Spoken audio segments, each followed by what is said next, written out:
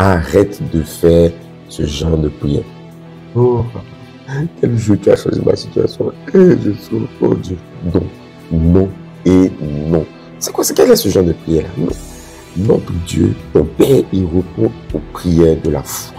C'est la foi qui fait bouger le ciel. Parce que la foi, c'est la faible assurance des choses qu'on espère, une démonstration de celles qu'on ne voit pas.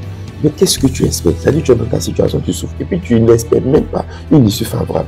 Tu imagines tous les scénarios catastrophes pour venir augmenter encore ta peine, ta souffrance. À quel moment est-ce que la situation va changer? Il faut que tu arrêtes.